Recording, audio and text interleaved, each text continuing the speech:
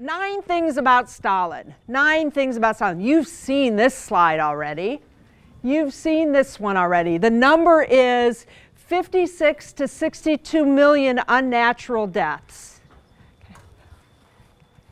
I'm going to show you in just the next couple of minutes where those populations come from. Okay? Where those populations come from in terms of who, who is he killing? Who's dying? Who's dying? Yes, that's exactly right. Okay, and I've given you some hints. The kulaks, the gulags, the purges, and famine. Okay, you have those things going on. All right.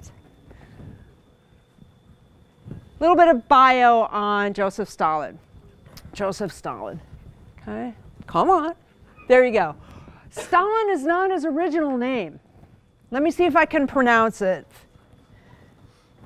Yosef Yugashvili. Okay, Yugashvili. Okay.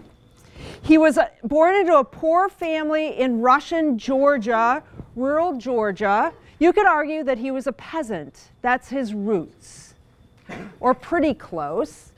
By age 21, he'd adopted Marxist ideas. Okay. There he is by age 21. Um, and he changed his name to Stalin, which literally means man of steel. Man of steel. Okay. At age 21, he was an atheist, a Marxist, and his nickname was Koba. Koba.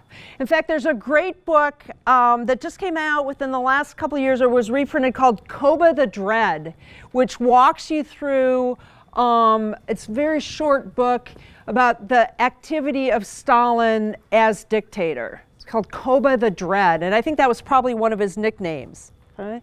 In 1902, he was arrested and sent to prison in Siberia. Um, it's viewed that this combination of his um, impoverished background, that that's what spurred his revolutionary ideas. Okay. But he was a dedicated doctrinaire Marxist as a young man. So when we read the Communist Manifesto, we do it as an intellectual exercise to look back. He did it as a political action to animate and to inform his actions as a revolutionary.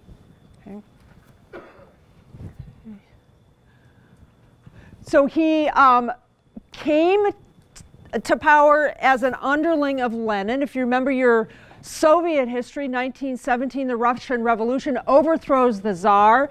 Stalin um, has great animosity toward the Tsars. In fact, he's arrested, there he is. Um, he's arrested multiple times. He's arrested seven times for trying to overthrow and undermine the Tsars between 1902 and 1913. He was exiled six times. Five times he escaped from exile. Lenin ruled until 1924, and that's when Stalin came to power. He consolidated power and eliminated rivals. Here's one of his ideological works again. Um, we look and go, how influential were Marx's ideas? Uh, they were the ideas that Stalin embraced and tried to put into practice.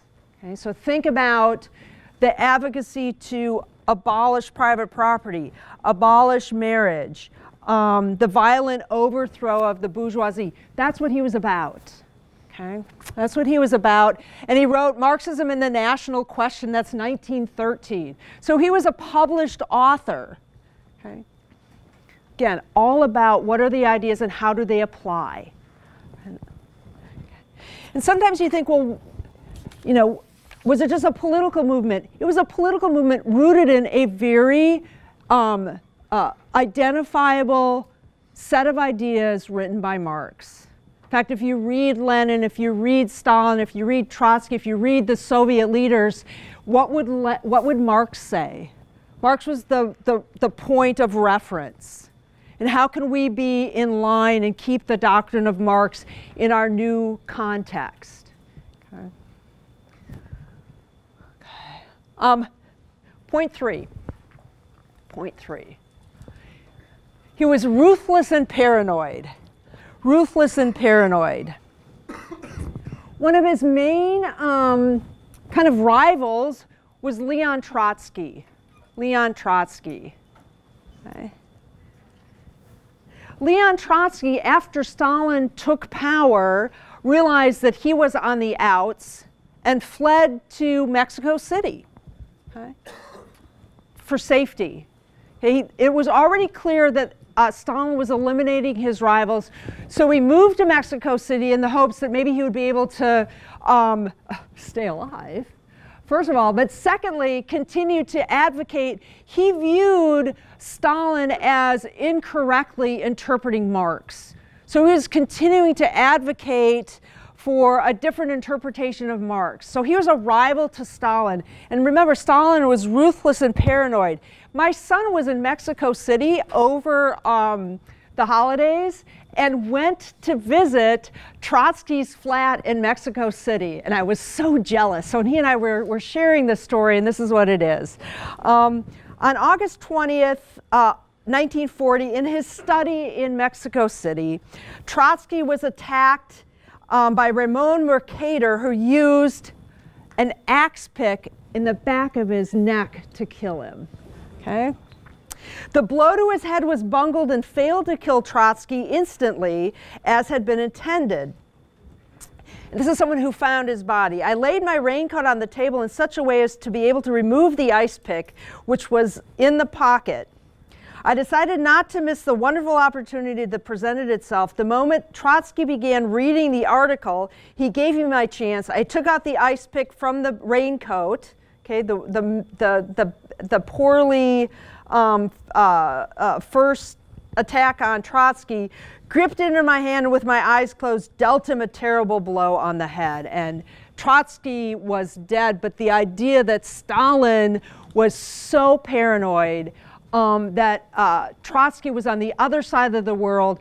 Uh, Stalin had full power in the Soviet Union, and still, Stalin saw the need to track him down and kill him, an ice pick in the back of his head.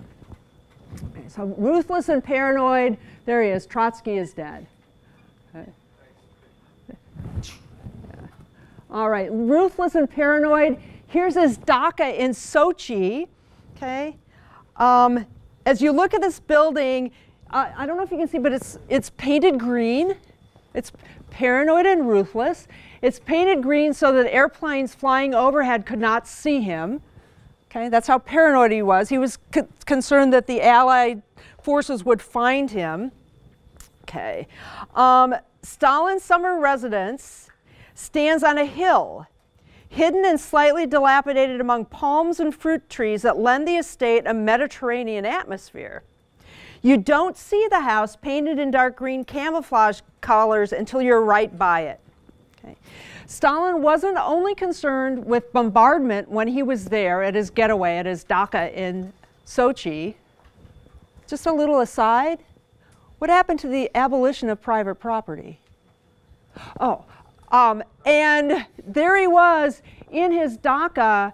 When he first got there, he insisted um, that all of the carpet be removed and be replaced by wooden floors so they could hear if anybody was sneaking up on him to kill him.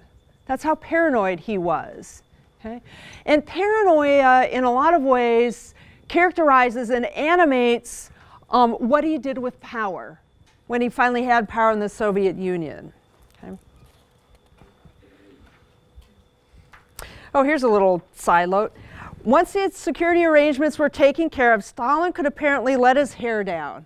Okay, so everything's safe. He's settled into his, his dacha. The main wing of the residence where visitors were taken contained a private screening room.